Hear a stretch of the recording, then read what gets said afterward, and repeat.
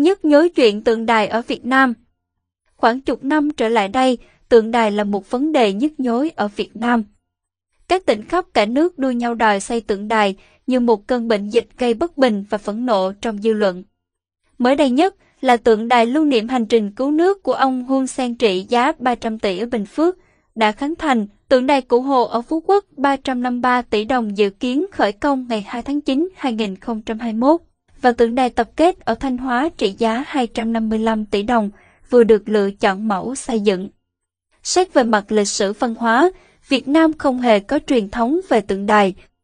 Người Việt tưởng niệm các chiến công oanh liệt và các nhân vật lịch sử mà họ biết ơn bằng đền miếu khiêm nhường và nghi lễ thờ cúng và diễn tích bằng các lễ hội. Ở Việt Nam không hề có các bức tượng lớn lớn nhất là tượng tín ngưỡng như tượng huyền thiên chấn vũ bằng đồng ở Quán Thánh Hà Nội hoặc các tượng hộ Pháp trong các chùa lớn. Các bậc đế vương hay anh hùng hào kiệt trong lịch sử Việt Nam như Phùng Hưng, Ngô Quyền, Lê Lợi, Lê Thánh Tông, Quang Trung được tưởng nhớ chỉ bằng những ngôi đền quy mô vừa phải, rất ít khi có tượng thờ. Ngay cả các vị thành hoàng vốn là những vị tướng trong lịch sử cũng chỉ có ngai mà không có tượng. Từ đó, trong mỗi tâm thức một người lại, có hình dung riêng về vị thánh của làng mình, bao đời nay là như vậy. Tượng đài du nhập từ phương Tây từ thời Pháp thuộc, rồi dầm rộ dưới thời Liên Xô cũ. Tượng thờ của người Việt và tượng đài cho thấy rõ sự đối lập giữa hai truyền thống tưởng niệm thông qua tượng và đài.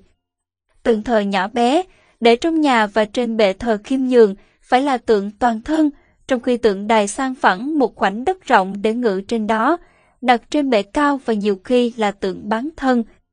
Tượng thờ có bát hương đặt đằng trước để người dân thực hiện nghi lễ. Trong khi tượng đài không có lư hương mà chỉ tưởng niệm bằng cách đặt hoa. Gần đây, thấy không có lư hương thì không thiên, nên các loại tượng đài tưởng niệm đều có lư hương. Tay chẳng ra tay, mà ta cũng chẳng ra ta. Vì đâu có lạm phát tượng đài. Nhưng điều gây ra lạm phát tượng đài ở Việt Nam không nằm ở văn hóa hay nghệ thuật điêu khắc, mà nằm ở lý do chính trị và kinh tế. Ai cũng biết đề xuất làm tượng đài là Ủy ban Nhân dân tỉnh hoặc huyện. Và đề án bao giờ cũng nhấn mạnh đến ý nghĩa chính trị cao cả của tượng đài là ôn lại truyền thống lịch sử hào hùng của chế độ và qua đó giáo dục về truyền thống yêu nước và cách mạng. Đề án mang tính chính trị như vậy và được phát ra từ các ủy ban nhân dân không mấy khi bị bác bỏ, vì những người phê duyệt sợ nếu bác bỏ thì sẽ phạm vào điều thiên liêng kia. Tiếp theo là đề xuất dự toán. Thường là sẽ nâng giá lên khoảng 10 đến 100% giá trị thực.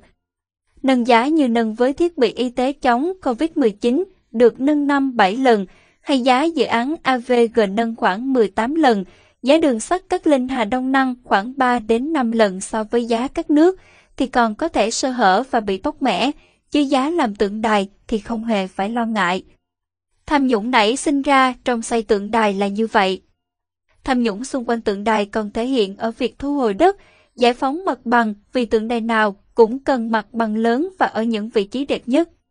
Ví dụ diện tích đất cần thu hồi để làm tượng đài tập kết ở Sầm Sơn là 38.000 m2 thì mới biết số tiền bỏ ra là lớn đến nhường nào. Năm 2015, xuất hiện tuyên bố đòi hỏi nhà nước khẩn cấp hủy bỏ những dự án xây dựng tượng đài Hồ Chí Minh, chặn đứng nguy cơ vơi hụt đáng kể quỹ ngân sách vốn eo hẹp, tạo thêm bất ổn mâu thuẫn xã hội đã và đang trồng chất. Tuyên bố có 336 chữ ký của các tổ chức và công dân. Bên cạnh lý do về chính trị và kinh tế, việc xây tượng đài cũng bị phản đối vì lý do kỹ thuật và mỹ thuật. Chất lượng kỹ thuật của các tượng đài thường rất thấp, nhanh xuống cấp, biến dạng, hư hỏng. Hình thức của tượng đài thô kệch, xấu xí và sóng sượng. Chính vì vậy, hiệu quả tuyên truyền của tượng đài rất thấp và thường tuyên truyền ngược trong nhân dân. Dự án ăn sổi và tiếng kêu giữa sa mạc. Tượng đài quả là những dự án ăn sổi, dứt hình thức, đua đòi giữa các địa phương nhằm kéo ngân sách về địa phương, từ đó chia nhau xà xẻo bỏ túi. Từ đó, xem khắp hệ thống các tượng đài trên cả nước giống như một bảo tàng lưu giữ các phế phẩm kém chất lượng và què quặt về thẩm mỹ. Báo chí và dư luận đã từng lên tiếng rất nhiều, nhưng xem ra đây là món lợi nên rất khó ngăn chặn. Năm 2015 đã xuất hiện một bản tuyên bố về vấn đề xây tượng đài Và những ngày gần đây, dư luận mạng xã hội lại vô cùng bức xúc khi một số tỉnh thành bất chấp khó khăn kinh tế mùa dịch giả, vẫn quyết tâm xây các tượng đài hàng trăm tỷ đồng. Nhà báo Lưu Trọng Văn mới đây chỉ ra rằng, trong tình cảnh kinh tế khó khăn hiện nay, đã đến lúc chính phủ và quốc hội phải ra nghị quyết tạm dừng tất cả các dự án tượng đài cho đến khi kinh tế đất nước phát triển và trình độ văn hóa của lãnh đạo đáp ứng được các giá trị đích thực của các tượng đài. Nhưng lâu nay, ở Việt Nam, các tiếng kêu như thế thường như tiếng hét như giữa sa mạc mà thôi. Giới phê bình nói gì về việc Việt Nam tiếp tục xây tượng đài Hồ Chí Minh? Việc xây tượng đài Hồ Chí Minh trăm tỷ, nghìn tỷ khắp nơi là nhằm củng cố chế độ và cũng là mảnh đất màu mỡ cho tham nhũng, theo một số nhà phân tích. Giữa lúc Việt Nam đang gồng mình chống dịch COVID-19, việc Sở Văn hóa và Thể thao tỉnh Kiên Giang hôm mùng 7 tháng 8 công bố chi 353 tỷ đồng xây quảng trường rộng 8,29 ha tại đảo Phú Quốc, bao gồm tượng đài lãnh tụ Hồ Chí Minh cao 18 mét, đã gây ra nhiều tranh luận. Trước đó, ngày 13 tháng 6, Ủy ban Nhân dân tỉnh Quảng Bình tổ chức lễ khánh thành tượng đài Chủ tịch Hồ Chí Minh với nhân dân Quảng Bình, công trình kỷ niệm 63 năm ngày Bắc Hồ về thăm địa phương, nằm ở trung tâm thành phố Đồng Hới, với cụm tượng đài màu vàng nổi bật. Công trình có vốn đầu tư 120 tỷ đồng này đã xuất hiện nhiều vết nứt chỉ sau hơn một tháng kể từ khi khánh thành. Trao đổi với BBC News tiếng Việt, tiến sĩ Nguyễn Quang A đánh giá việc xây tượng Đài Hồ Chí Minh cũng như các nhà lãnh đạo Cộng sản khác như Fidel là chủ trương nhất quán của Đảng Cộng sản Việt Nam. Nếu nhìn lại lịch sử của cả thế giới, tất cả các nhà cầm quyền đều vô cùng coi trọng biểu tượng như quảng trường, hình lãnh tụ, lá cờ, bài hát hay tượng đài. Chúng là phần vô cùng quan trọng của hệ thống. Nó giúp reo vào đầu con người hình gắn bó với chế độ. Ông nói thêm, áp đặt tư tưởng để củng cố chế độ. Năm 2015, Ủy ban Nhân dân tỉnh Sơn La công bố đề án chi 1.400 tỷ đồng xây quảng trường và tượng đài Hồ Chí Minh trong đó công trình tượng Bắc Hồ chiếm khoảng 200 tỷ đồng. Trong bối cảnh Sơn La là tỉnh nghèo, nhiều người dân thiếu ăn, công trình ngàn tỷ này ngay lập tức bị người dân, giới trí thức và một số đại biểu quốc hội phản đối kịch liệt. Tại Việt Nam, hàng trăm tượng đài, đền thờ, công viên tưởng niệm Hồ Chí Minh và các lãnh tụ cộng sản khác như Lê Duẩn, Fidel Castro, Tùng Đức Thắng đã mọc lên khắp các tỉnh thành trong nhiều năm qua, với chi phí mỗi công trình từ vài chục tỷ đồng tới cả ngàn tỷ đồng. Còn số tượng đài đang tiếp tục tăng giữa lúc đề án mới đang được triển khai. Theo đề án quy hoạch, Việt Nam xây thêm 14 tượng đài Hồ Chí Minh nữa trong giai đoạn 2015 đến 2030, không tính 31 tượng đài đã được xây trước khi có đề án trong đó có những tượng đài đã hoàn thành ở Quảng Bình, Bình Định trong vài năm gần đây. Con số trên chỉ bao gồm tượng đài nhóm A, tức tượng đài lớn ở các đô thị trung tâm hành chính, chưa tính một số lượng lớn tượng đài trong khuôn viên cơ quan, tổ chức, trường học. Đa phần các công trình đều ngự trị ở trung tâm thành phố, đập vào mắt người dân mỗi ngày nhưng nhắc họ không được quên các lãnh tụ cũng như hệ tư tưởng mà các lãnh tụ đó sáng lập, phun bồi. Theo giới phân tích, Việc xây dựng tượng đài Hồ Chí Minh là nhằm áp đặt tư tưởng phục vụ cho mục đích củng cố chế độ. Việc xây dựng tượng đài giúp củng cố chế độ, gieo vào đầu người dân khuôn khổ suy nghĩ trong giới hạn môi trường do chính đảng Cộng sản tạo ra. Đây là sự áp đặt tư tưởng qua biểu tượng. Kể cả âm nhạc, nghệ thuật cũng là một phần của hệ thống cai trị này, ông Nguyễn Quang An nói. Ông phân tích thêm, những biểu tượng đó có ảnh hưởng rất lớn và sâu rộng người dân phải nghe ra giả những điều như thế suốt từ nhỏ đến lớn qua báo đài, kịch nhạc, phim ảnh. Dần dần, những điều này hằn sâu vào con người, khiến họ tự hào với truyền thống và quá trình lịch sử đấy và biến nó từ của một nhóm người thành của một cộng đồng được tạo ra theo khuôn mẫu của họ. Đấy là ý đồ rất thâm sâu. Nếu không có phản biện, không có tự do ngôn luận để xới những vấn đề đó ra, thì người dân rất dễ rơi vào mụ mẫm với những niềm tin như vậy. Ông Nguyễn Quang A đánh giá tác động của việc chi ngân sách xây dựng tượng đài đối với dân tộc là khủng khiếp, nhưng với Đảng Cộng sản Việt Nam thì việc xây tượng đài góp phần củng cố cho chế độ nên họ sẵn sàng chi tiêu. Đây là phần quan trọng của bộ máy kìm kẹp tư tưởng. Vấn đề không phải là nên dành ngân sách, xây tượng đài vào những khoản cấp bách khác như trường học, bệnh viện, mà vấn đề là họ không tiết tiền. Để làm điều đó, ông phân tích. Họ vẫn phải lo những vấn đề cấp bách nhưng đồng thời các biểu tượng vẫn phải được duy trì. Nhiều khi chúng ta coi thường các biểu tượng đó và đấy là mối nguy hiểm. Vì ở tầng sâu của các biểu tượng như vậy, họ muốn đánh vào tiềm thức của người dân và muốn viết lại lịch sử, vẽ nên khuôn khổ để người dân tư duy trong đó. Phải hiểu sự sâu xa, thâm độc mới có thể đánh giá và tìm phương án giải quyết.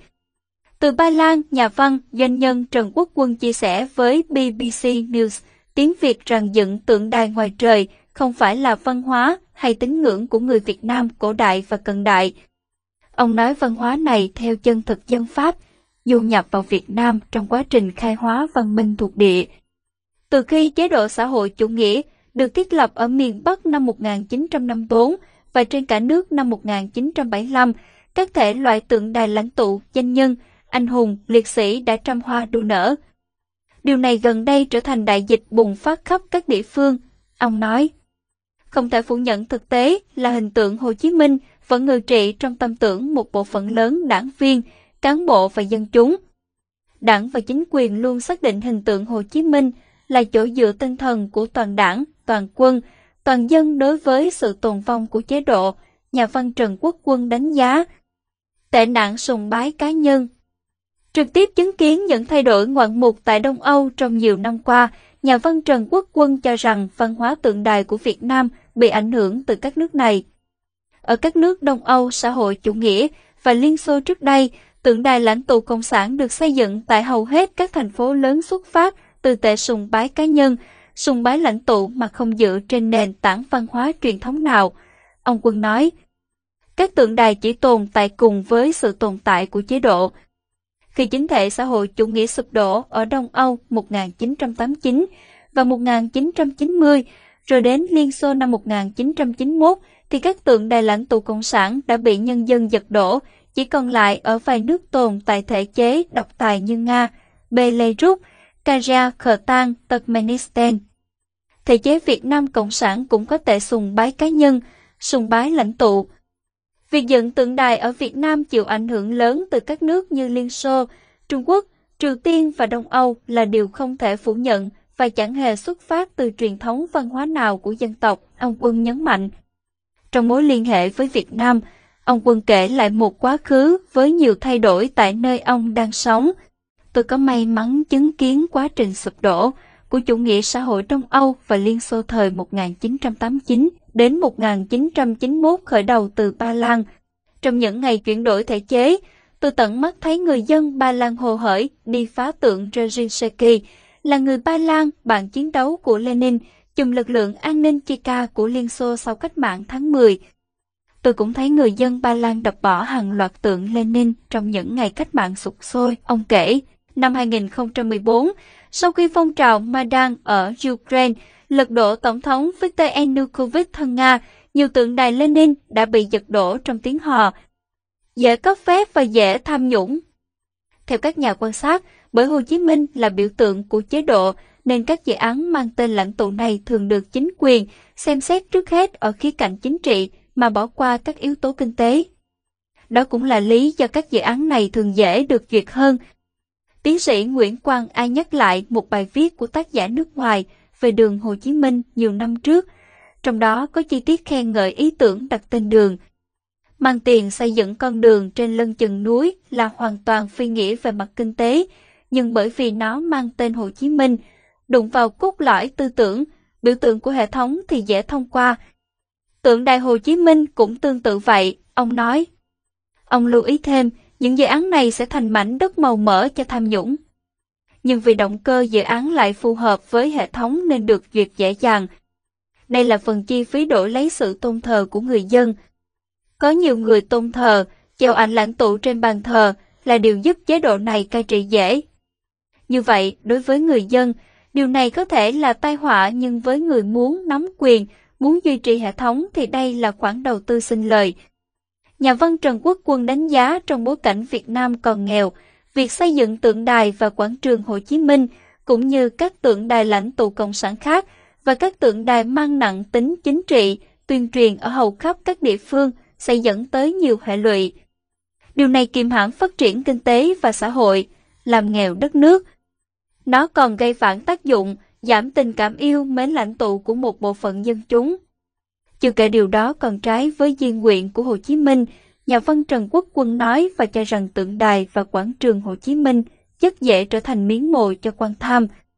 Xét ở một phương diện khác, tiến sĩ Nguyễn Quang A cho rằng việc xây các không gian công cộng như quảng trường lại ý nghĩa lớn đối với cộng đồng.